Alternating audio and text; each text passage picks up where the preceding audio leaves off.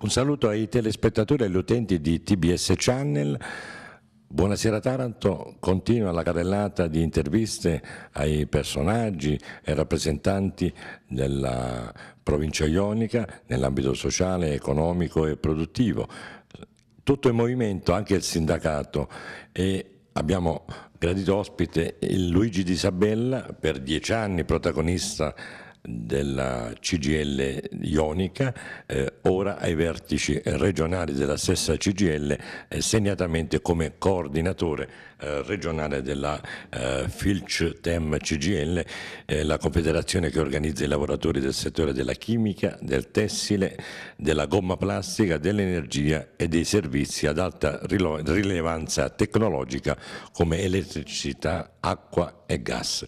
Dieci anni alla guida della CGL Ionica, eh, diciamo sette come segretario eh, generale e altri come componente della segreteria, un periodo non irrilevante nel quale si sono segnate tappe fondamentali eh, per l'area ionica. Quali in particolare, come ricostruire questo periodo? Beh, eh, ovviamente il pensiero va subito all'emergenza ambientale dell'ILVA, che ovviamente catalizza, anzi focalizza in maniera forte l'attenzione anche sul recente passato. Ma in effetti, essendo stato dirigente sindacale in questi ultimi dieci anni, da questa postazione così importante come quella della Confederazione, la CGL, di passaggi nodali importanti per il nostro territorio ce ne sono stati più di uno, basti pensare a quello che ha significato e per alcuni versi significa ancora la vicenda del dissesto del Comune di Taranto. Vicenda del dissesto che a quell'epoca segnò in maniera cruda il fallimento e la degenerazione non solo una, eh, dal punto di vista del fenomeno politico di questo territorio, ma complessivamente di relazioni tra le classi dirigenti, relazioni sociali che evidentemente erano malate. I, I, danni di quel dissesto in parte li abbiamo ancora pagati. Ricordo che all'epoca ci fu un vero e proprio fuggi-fuggi dalle responsabilità. Un, uh, si distrusse praticamente tutta una rappresentanza politica e in quel caso, come in tanti casi della storia recente e non recente di questo territorio, il sindacato si trovò in prima fila, in trincea, e dovette anche assumersi responsabilità che andavano oltre quelle di rappresentare ovviamente innanzitutto i lavoratori. Ricordo come, partendo proprio dalla situazione molto difficile dei lavoratori del comune, dei lavoratori delle partecipate, AMIO, AMAT e dell'appalto, si mise in piedi un'avvertenza importante nei confronti del governo che portò non solo a cercare di dare un fiato ai lavoratori, all'epoca si istituirono dei, degli ammortizzatori sociali che possono essere definiti i precursori degli ammortizzatori in deroga, ma si ebbe un rapporto forte con il governo, facemmo le manifestazioni davanti a Palazzo Chigi e il governo si occupò di Taranto, ci fu quel finanziamento importante che dette un contributo poco conto, ma ci fu anche un tavolo apposta per Taranto, coordinato tra l'altro allora da, da Enrico Letta, e da allora, come in altre condizioni, varie fasi di crisi, di difficoltà sono state affrontate avendo in prima fila il sindacato. Penso anche alla vicenda dell'Arsenale, qualche anno dopo. Vicenda dell'Arsenale che in tono quasi minore ha ripercorso poi quello, o meglio ha preceduto ciò che poi è stata la vicenda Elba. Ricorderete che in quel periodo, dopo varie ispezioni di, da parte dell'ispettorato del lavoro, si arrivò alla conclusione che c'erano molte difficoltà, molti adempimenti non messi in regola e si arrivò alla prospettiva effettiva di una possibile chiusura dell'arsenale. Di lì una grande iniziativa del sindacato, ma del territorio, dei parlamentari, ricordo le manifestazioni con le istituzioni al nostro fianco, e si trovò una strada che invece di subire eh, quello che stava accadendo, cioè il depauperamento del, dell'arsenale, mettesse in campo iniziative anche straordinarie, cioè interventi immediati e finanziamenti, perché quella lotta ebbe come sbocco l'ottenimento da parte del governo di finanziamenti, il famoso piano Brini, che ora è tuttora in essere. Così come posso ricordare tutta la vicenda dei call center, in particolar modo di teleperformance, fondamentale per tanti aspetti perché è stata una grande battaglia ancora in piedi per la lotta alla precarizzazione. Io ricordo quando si discuteva dei provvedimenti eh, dei confronti del governo Prodi, si diceva ma che si fa, che non si fa per il precariato. Eh, io ricordavo sempre in quei giorni come, grazie anche ad alcune iniziative legislative e le famose circolari Damiano vi dicendo, eh, noi a Taranto arrivammo alla stabilizzazione, al rapporto di lavoro a tempo determinato di quasi 2000 persone. Quindi rivendicammo come da quel lavoro che sembrava un lavoro marginale, transitorio e via dicendo, invece si potesse fare anche un progetto più complessivo. Tant'è, l'abbiamo ripetuto in tante occasioni, ricordo che ne parlò anche la nostra segretaria generale Camus in una trasmissione da Fazio, a stabilità lavorativa corrispose anche progetti di vita e nel giro di poco tempo da, quelle persone nacquero non solo nuclei familiari ma anche centinaia e centinaia di nuovi, di nuovi bambini e bambine. Per poi arrivare alle vicende ILVA. Ecco, ma poi magari sul video ci, parli, ci parliamo in maniera più precisa e eh, dire, focalizzata, ma... Ecco, questo uh, mi, mi consente un sindacato forte, ma un sindacato che ha mediato, però c'è chi ha cercato di indebolire la funzione del sindacato in questi ultimi anni e si è parlato anche di una forma, come dire, di demagogia che ha imperato negli ultimi tempi. Su questo aspetto sarebbe interessante, sì, sì. perché c'è stato un momento in cui la protesta eh, ha imperato, forse ancora impera anche se di meno, però poi alla, alla fine dei conti, e lei ricordava la vicenda Arsenale, c'è la vicenda Ilva, la vicenda della Teleperformance e di altre aziende in cui il sindacato ha, avuto, ha svolto un ruolo importante. Ecco, però oggi facciamo i conti anche con una situazione di incertezza come scenario locale. Perché secondo lei?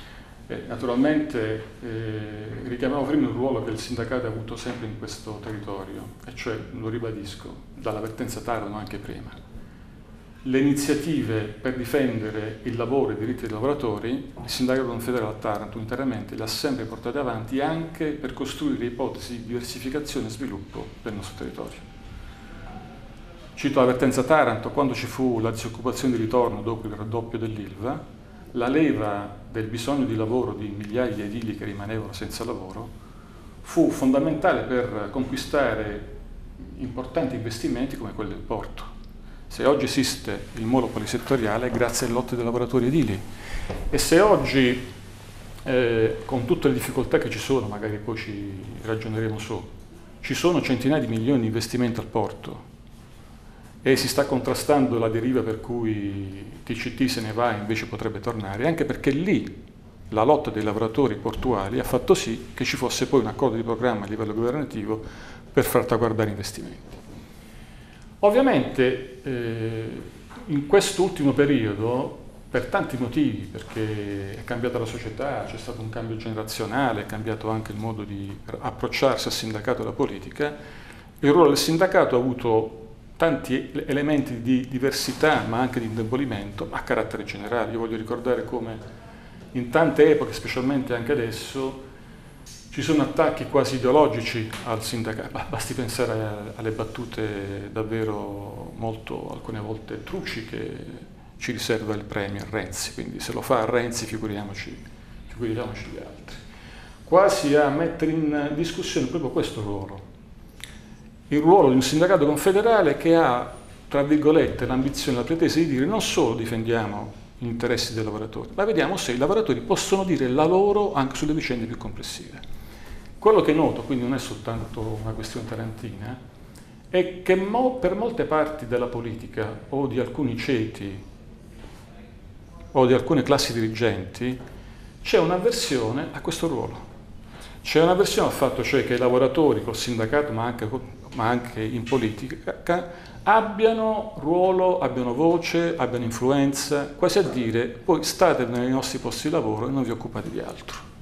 Io credo che il tratto comune che oserei dire di classe, che tante volte ho notato essere presente anche in questa città, ha questo. Poi alcune volte ovviamente incrocia con altri fenomeni, no, come l'emergenza ambientale o altre, si incrociano, non sono lo stesso fenomeno e si arriva a un frullatore di, di vicende. E... A proposito di vicende ambientali c'è stato un sindacato, ma non solo, c'è stata anche una parte importante della società civile, ehm, la, la stampa, dell'economia che in questi anni ha lavorato mediando, e poi singoli episodi sono stati, parliamo di gossip, eh, hanno quasi dire, prevalso sull'impegno a tutto tondo che c'è stato e questo forse è un grande limite e alcune istituzioni da questo punto di vista non hanno aiutato forse chi ha esercitato questo ruolo in questi anni. Oh. Sì, sì, il fenomeno è molto complesso, io intanto voglio ricordare alcuni fatti allora, noi siamo abituati a ragionare sulla vicenda dello scoppio delle emergenze ambientali a partire dai provvedimenti della magistratura, 26 luglio 2012, siamo fra, fra poco al compleanno, due anni. Ma io voglio ricordare che quando nel 2008 e nel 2009 ci furono le manifestazioni di alta marea, la CGL stava in quelle manifestazioni, aderì, partecipò. Non eravamo d'accordo sul 100% delle richieste, però eh, eravamo d'accordo a portare avanti un'iniziativa che dicesse siamo per mettere in campo tutto il possibile per ambientalizzare le fabbriche e fare in modo che i danni sicuramente pesanti che sono stati eh, apportati alla salute e all'ambiente di questo territorio siano sanati. Per noi l'elemento di rimente era, ovviamente, immaginiamo di fare tutto ciò non chiudendo le fabbriche ma risanandole. E parlo sempre di periodi antecedenti allo scopo dell'emergenza con i sequestri da parte della magistratura. Quando ci fu la battaglia aspra sulla legge sulla diossina, o qualche tempo dopo sulle questioni che riguardavano il benzepirene, in, per quanto ci riguarda in maniera più netta forse di altri, ma noi prendemmo posizione netta e fu tutt'altro che una posizione conciliante con l'atteggiamento dell'ILVA fu una posizione che appoggiava, appoggiava in maniera netta le iniziative della regione che portava avanti queste, queste partite. Ricordo come quando ci fu la conferenza stampa in cui si presentava la legge sulla diossina, che fu fortemente contrastata dall'ILVA, al comunitano c'era il sindaco, il presidente della provincia e i segretari di FIM, FIM e WILM. Quindi quando si è trattato di fare una battaglia per il miglioramento ambientale, noi la, la, la parte l'abbiamo scelta in maniera netta. Ovviamente il problema qual è? che non avevamo cognizione, evidentemente avevamo sottovalutato, che quel percorso che avevamo messo in campo, che immaginavamo anche importante di ambientalizzazione, in realtà non era adeguato alla situazione data. Questo ci ha detto la magistratura. Quando ne abbiamo preso atto, abbiamo messo in riga anche la nostra impostazione, abbiamo detto, beh, se così è, allora si intervenga subito, si faccia una nuova AIA e si vada avanti su questo, su questo ambito. E sui rapporti contrastanti che hanno segnato l'ultima fase tra la CGL e la FIOM, cosa ci vuol dire? Che guardi, come, come, è noto abbiamo una dialettica molto forte, l'abbiamo avuto a fasi alterni tra CGL e FIOM su alcune questioni di fondo che riguardano le strategie contrattuali, vertenziali. Ma viva Dio, posso dire che a livello territoriale in, i rapporti tra CGL e FIOM, penso a questo gruppo dirigente ma anche a quello che l'ha preceduto, facendo i conti col fatto che c'era e c'è una, una, situazione così drammatica ed emergenziale, sono stati improntati alla intelligenza, oserei dire, al buonsenso di innanzitutto concentrarsi sui problemi dei lavoratori piuttosto che accentuare la nostra dialettica. Quindi siamo un sindacato, viva Dio, fortunatamente molto vario, variegato, in cui si discute, si discute, alcune volte anche in maniera animata, però quando poi dobbiamo ragionare su come salvaguardare i diritti dei lavoratori, insomma, no, non perdiamo tempo a discutere fra di noi. A proposito di ILVA e di ambiente, in molti hanno accusato il sindacato, parte del sindacato, la CGL e altri attori della provincia ionica in altri settori di essere, eh, se non corresponsabili, addirittura conniventi. Con lei come risponde a questo aspetto? Rispondo col fatto che ci sono i fatti che contano. Noi Poco tempo fa abbiamo avuto una grande e importante sentenza da parte del Tribunale di Taranto sul processo per amianto proprio all'ILVA e voglio ricordare che non solo la FIOM si è costituita parte civile contro l'ILVA pubblica e privata, ma gran parte dei casi che sono stati portati per mettere in campo le prove sono stati patrocinati dal sindacato. Quindi noi da decenni denunciamo i problemi che riguardano la salute e la sicurezza dentro e fuori la fabbrica. Ciò che è inaccettabile è che si sia creato quasi un, un teorema in base al quale si è messo insieme, quando ce n'erano responsabilità vere e dirette, con qualsiasi impostazione culturale, politico, sindacale che fosse, tra virgolette, industriale o industrialista. Il fatto che il sindacato abbia difeso, difende e difenderà sempre il lavoro e le industrie che vanno risanate non può essere assimilato ad accondiscendenze rispetto a atteggiamenti e opere eh, dire, di carattere illegale. Sarebbe come se, mi lasci dire, Dopo l'esito che si è avuto dalla vicenda del San Raffaele con Doverzé, si mettesse in campo tutto una baradana per cui tutti quelli che si sono sentiti con Doverzé, auspicando che si facesse San Raffaele, fossero stati tutti complici di un'operazione che poi abbiamo visto dove è andata a finire. Sarebbe, come dire, mettere insieme eh, atti, situazioni, prese di posizione politiche con invece altro. E questo è inaccettabile. Rimanendo in tema ILVA, c'è un decreto del governo, ecco, la posizione, c'è il, rischio che se non si mette mani eh, a un provvedimento che consente la nomina di un commissario che si eh, preoccupi e si eh, diriga soltanto all'applicazione dell'AIA e si attinga alle risorse del sequestro ai beni dei Riva, ecco, c'è il rischio che si possa andare in liquidazione. Qual è la sua posizione? Eh, noi, e credo che su questo abbiamo una posizione abbastanza unitaria come movimento sindacale, ho visto anche altri ambiti della società tarantina, non solo hanno fatto critiche simili, siamo fortemente preoccupati della inadeguatezza di questo provvedimento. Ovviamente c'è un provvedimento che cerca di sanare l'emergenza finanziaria con questa operazione che faciliti per le banche un prestito ponte ma siamo perfettamente consapevoli che oltre a passare l'emergenza finanziaria di qualche mese, il problema di fondo qual è? È assicurare che si mantenga in piedi in maniera chiara e precisa il piano ambientale che è stato definito e che ci sia in maniera chiara e altrettanto precisa la copertura finanziaria, che o deve essere fatta o, o è insieme deve essere fatta con le risorse sequestrate ai riva dalla Procura di Milano, oppure anche ci sono varie proposte messe in campo con un intervento temporaneo, parziale di capitale pubblico che assicuri la continuità di questa azienda. L'alternativa qual è? L'alternativa è tra avere un piano finanziario ambientale industriale di largo respiro, che mette in campo la prospettiva di un'ILVA risanata con l'attuale livelli produttivi occupazionali, oppure semplicemente un prestito ponte per poi vendere o svendere e affidare a chi verrà le decisioni sul destino Quindi più del, del, del territorio. Questa è una questione di mercato e scongelare questo? Ci, noi diciamo non bisogna arrivare davanti all'acquirente con l'acqua alla gola, perché Senta, con l'acqua alla gola poi si svende, non si, non si fa. Nella sua lettera di commiato da segretario generale, per il ruolo che ho svolto alcune cose non le ho dette. Ci può dire cosa direbbe oggi? Di, eh, a cosa mi riferisco? Mi riferisco a questo. A me, in realtà, eh, per, per, la formazione anche culturale da cui vengo, la dialettica e la polemica appassiona. Però siccome in questo territorio uno dei gravi problemi è la, l'accentuata risosità e divisione tra i soggetti, io ho sempre teso anche a mangiarmi qualche rospo piuttosto che polemizzare con un interlocutore quando mi rendevo conto che il problema era mettere insieme non solo i sindacati ma le istituzioni, le parti sociali e fare in modo che il territorio magari si presentasse in maniera unita e compatta di fronte al governo.